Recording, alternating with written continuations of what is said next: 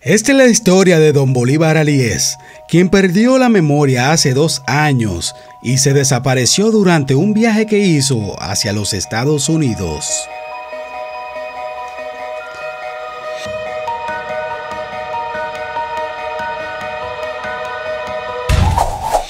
Don Bolívar, con problemas repentinos de memoria, donde olvidaba todo, empezó a vagar por las calles de la Florida hasta convertirse en lo que los Estados Unidos le llaman un homeless.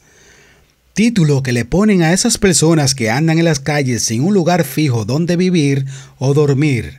También le llaman personas sin techo. Bolívar es padre de siete hijos en la República Dominicana. Uno de ellos es su hija, quien se mantuvo constantemente viajando hacia los Estados Unidos buscando a su padre, con todo y pandemia. A casi ya dos años de buscar a su padre, ya ella había perdido las esperanzas de encontrarlo. Pues imagínense, un hombre andando solo por las calles, con problemas de memoria, pasando hambre y frío, y que hasta el momento no haya aparecido ni un solo rastro de él, pues cualquier persona entendería que las posibilidades de encontrarlo son casi nulas.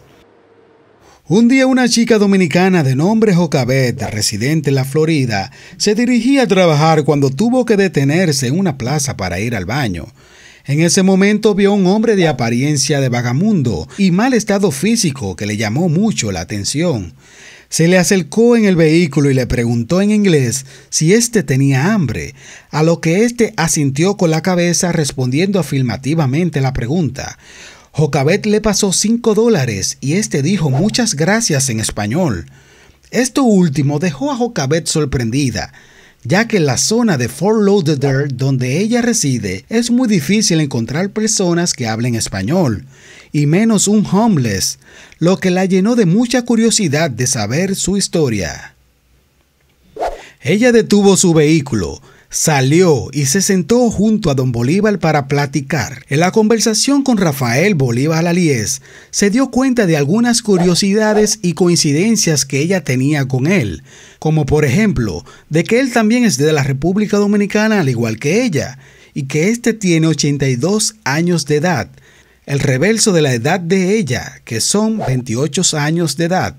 Este nació en la provincia de San Cristóbal, República Dominicana, el 13 de julio de 1938 estas eran de las pocas informaciones que don Bolívar podía dar sobre sí mismo, ya que Jocabet estaba notando que éste tenía problemas de la memoria, porque tenía dificultades para recordar eventos recientes, solo podía hablar de su pasado, y se pudo dar cuenta porque éste no podía almacenar el nombre de Jocabet, luego de habérselo mencionado varias veces en el trayecto de la conversación. Y como literal a los tres minutos me decía, tú no me has dicho tu nombre y yo le decía, yo, don Bolívar, yo le acabo de decir mi nombre.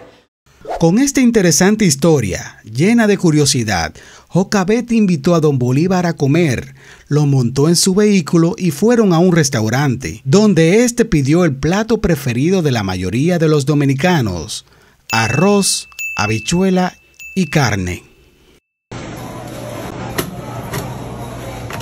Mientras conversaban en el almuerzo, don Bolívar se sentía muy apenado por estar hablando con ella mientras su ropa se encontraba muy sucia y en mal estado.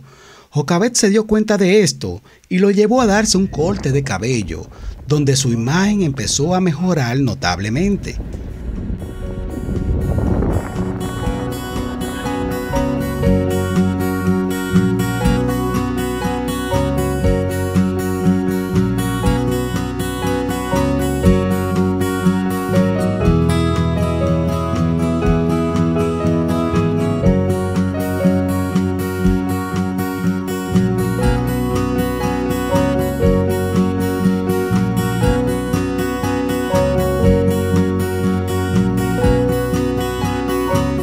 Salieron a probarse distintas vestimentas en una tienda, hasta dar con la adecuada en la que don Bolívar se sentía bien cómodo.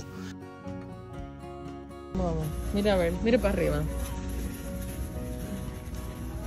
¿Cómo? Probando que se guisa. Claro.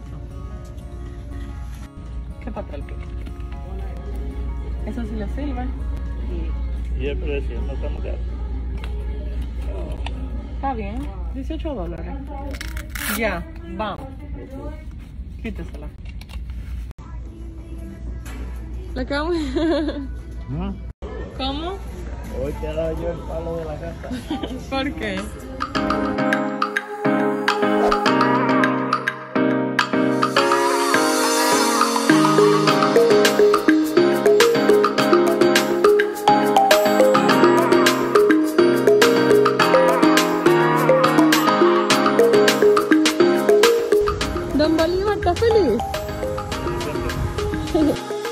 Hasta lo llevó a hacerse unos arreglos estéticos en las uñas de las manos y los pies para dejar a Don Bolívar completamente renovado.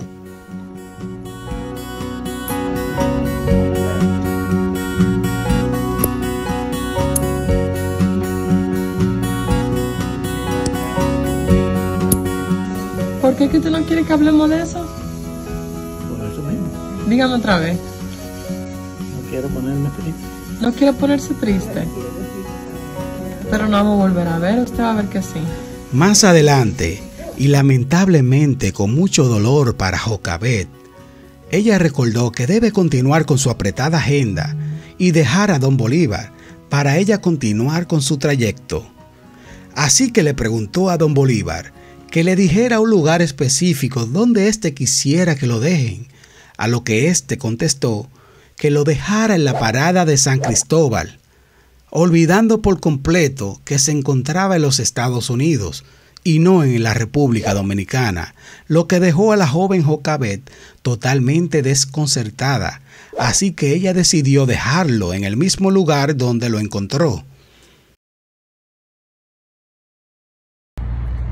Sonría. Dios lo bendiga mucho. Lo quiero mucho.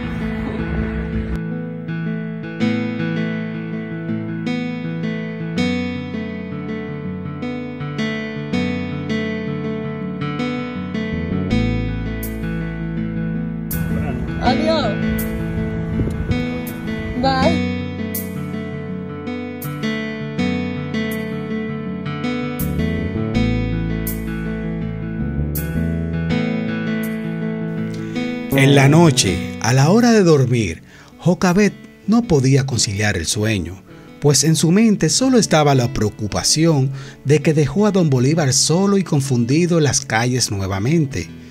Así que regresó al otro día al lugar donde lo había dejado y no lo encontró. Buscó por varios días y semanas, pero no lo volvió a ver. De don Bolívar solo quedaban los recuerdos y las fotos que Jocabet había publicado junto a él en su Instagram.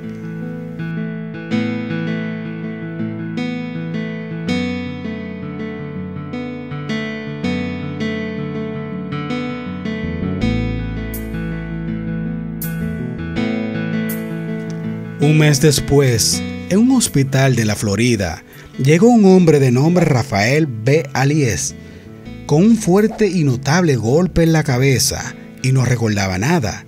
Tampoco hablaba inglés, lo que dejaba a las enfermeras y doctores desesperados porque no tenían una buena comunicación con él. Un día, una de las trabajadoras sociales del hospital le contó la problemática a una amiga y esta chica le dijo que curiosamente esa historia es similar a una que ella vio en Instagram hace un mes y que investigaría más adelante para recordar este caso ya que a ella le parece muy familiar. La chica es seguidora de Jocabet, la contactó y le dijo que escuchó una historia similar a la de Don Bolívar y que necesitaba verificar si era la misma persona. Jocabet le preguntó por el nombre del paciente y éste le dijo que se llamaba Rafael B. Alies, por lo que Jocabet le dijo que no, ya que el que ella conoció se llama Don Bolívar. Más adelante, la chica se le ocurrió la idea de decirle a la trabajadora social del hospital que entrara al perfil de Instagram de Jocabet para que revisara si las fotos publicadas ahí dentro de Bolívar coinciden con la persona que tienen en el hospital. Y voilà, resultó ser la misma persona. Rápidamente, Jocabet se dirigió al hospital y consiguió ver a don Bolívar mientras ella lloraba de emoción, aunque éste no se acordaba de ella. Tu amiga. Bolívar! Uy, cheche, pero esta ya es más bonita. ¿Pero tú no te acuerdas de mí? Un poquito. ¿Quién yo soy? El nombre que no me... Mira sus flores que yo le traje a Don Bolívar. Hombre, ya se parecen a ti. Yo acabo de comer algo, no, pu- no puedo comer tantas cosas. Una funda, que ya todo Bolívar, cuéntame cómo te sientes. Bueno, estaba triste, pero ya me alegré desde que te vi. ¿Estás contento ahora? Mira, la comida la había dejado y ya me, me comeré esta. Yo te traje comida. ¿Ves? Lo único que trajiste es un plato de aquí. ¿Qué te pasa en la cabeza? Me di un golpe en la frente. No es en la frente, ve. ¿Que usted se acuerda de mí? éramos vecinos, qué sé yo qué. Que éramos vecinos. Sí. ¿Y dónde? Oh, ¿Cómo que Jocabet en esta ocasión no quiso dejar a don Bolívar solo, así que al día siguiente se le ocurrió subir su historia a las redes sociales junto a sus datos, para que con la ayuda de sus seguidores se pudiera saber cuáles son sus familiares en la República Dominicana. En solo minutos, las personas empezaron a tallar influencers, páginas y figuras conocidas de la República Dominicana, y al cabo de dos horas los familiares pudieron enterarse del paradero de Bolívar Alíes. La hija de don Bolívar contactó a Jocabet llorando y le contó que ya había perdido las esperanzas, pues tenía dos años buscando a su padre y no obtenía ningún tipo de resultados. Jocabet comentó en las redes sociales lo emocionada y feliz que se siente de los resultados obtenidos, de cómo Dios la usó para volver a conectar a Don Bolívar con su familia que se encontraba a cientos de kilómetros. Señores, recuerden darle like a este video, suscribirse y darle a la campanita de notificaciones, pues más adelante le daremos más información sobre la historia de Don Bolívar, luego de que éste sea rescatado por sus familiares en la Florida.